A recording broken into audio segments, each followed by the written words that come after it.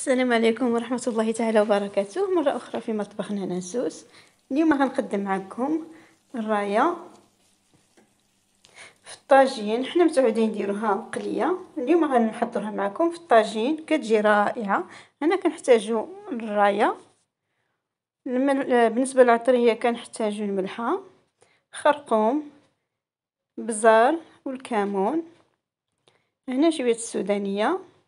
تومة سكنجبير آه، خضرة ورقة سيدنا موسى والربيع شوية الزيت البر مقطع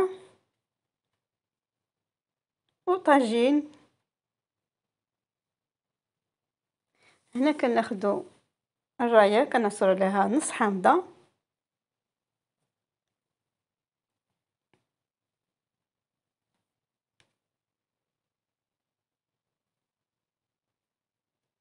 من بعد كنديرو عليها العطرية.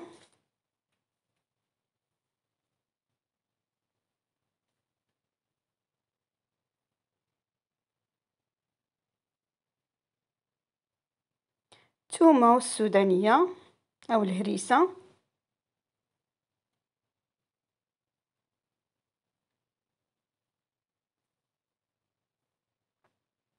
شوية السكنجبير طري. كيعطيه واحد المذاق لذيذ بزاف.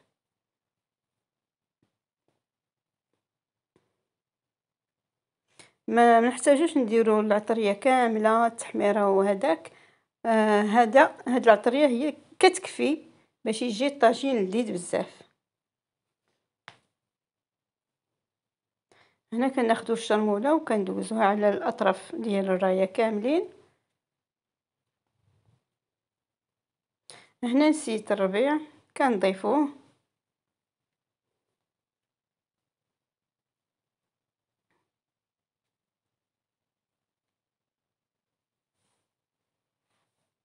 كنحاولوا نديروا شرمولة في الأطراف ديال الراية. ونخليوه يستراح واحد على الأقل واحد نص ساعة قبل ما نديروه يطيب.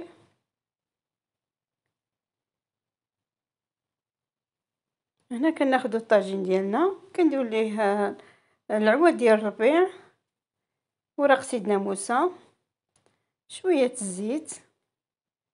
هنا الراية كتحتاج شوية ليدان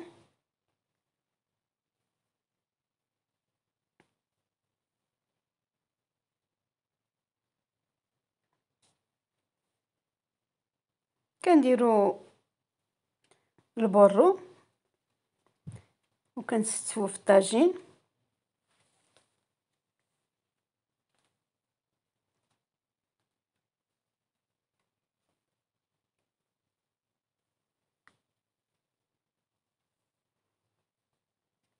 من بعد كنستفو عليه الراية ديالنا.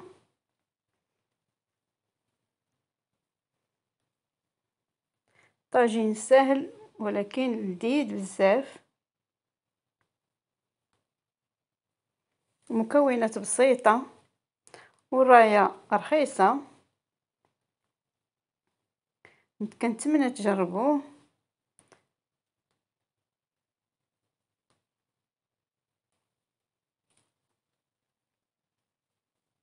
وتردوا لي في التعاليق علاش لا. تقولوا لي اللي جرباتو. تقول لي كيف جاها. هنايا كنضيفوا شوية زيت العود كما قلت لكم سابقا الراية كتحتاج شوية ليدان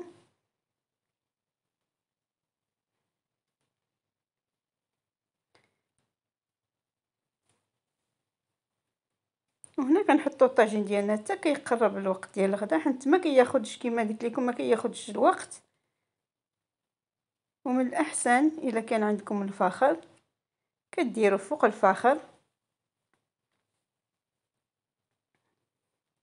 كيعطي مذاق مذاق آخر. هنايا درنا فوق البوطة. وكتشعل كنشعلوا عليه عافية مهيلة.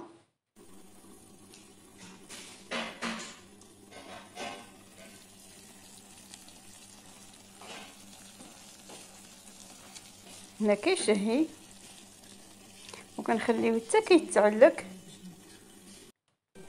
هنايا الطاجين ديالنا معلق كيبان لذيذ لذيذ بزاف كنتمنى تجربوه واللي جربته تحط ليا في التعاليق ديالها كيف جاها اللايك شكرا ديالكم على في هذا الفيديو. شكراً. اللقاء